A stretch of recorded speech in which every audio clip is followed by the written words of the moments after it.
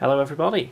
Now if you've seen some of my older videos you'll know that I like playing with Arduinos and I also like making Space Invader graphics on everything I possibly can.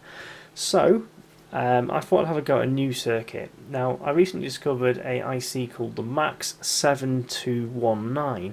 Now, what that is, is it's an LED driver chip that makes it very easy to drive these 8x8 LED matrix displays, or some, you know, general arrays LEDs, or some 7-segment displays. So obviously I'm going to use it for this matrix, um, basically, I've got the Max 7219 here underneath all this wiring. You need one electrolytic capacitor, one ceramic capacitor, and a resistor to set the PWM uh, for, to, for, the current limiting so you don't overdrive the LEDs.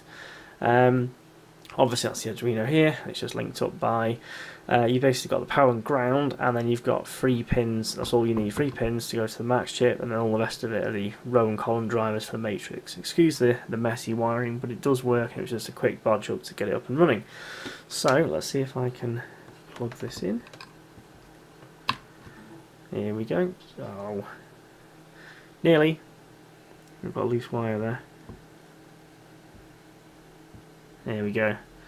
So I've basically done a bit of code to sort of fade it in and out using the PWM brightness control of the Max 7219.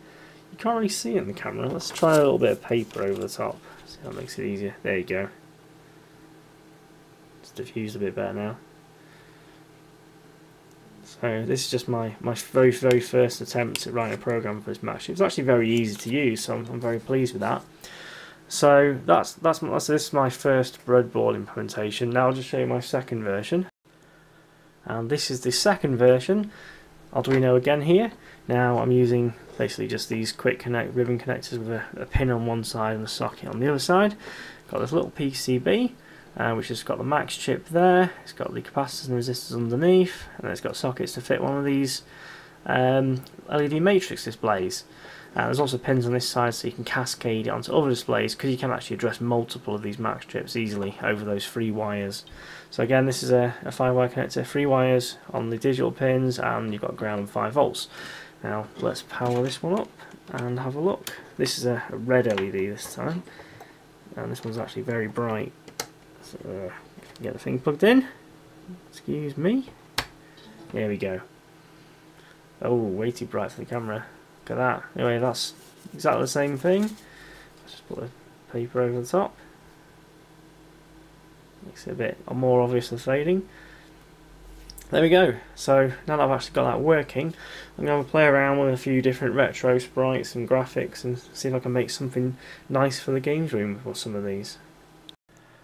Okay, I'll quickly share the code with you. It's fairly simple to use. So basically include the LED control library to start with, we instantiate that, and the parameters here are the pins that are used for communication with the Max chip. The one there is the number of devices on the chain, in this case we've just got a single device, uh, basic variable for delay. Now this byte array here, you might be able to make out, if you look at it carefully, those ones are the on pixels or the on LEDs as that Space Invader sprite. So basically all you do is you draw it out as, a, as this series of 8x8 bytes uh, and then we we move down I'll show you how that's drawn in a second.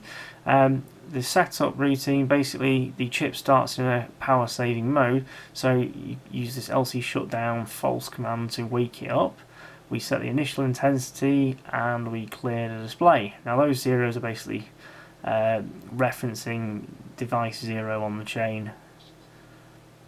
Uh, so this routine here, Space Invader, this draws the Space Invader. Now all it's doing is, it's a simple loop, uh, it's counting to 8 and it's basically drawing one row at a time. So it's basically passing that, that byte array row one at a time until it's done all 8.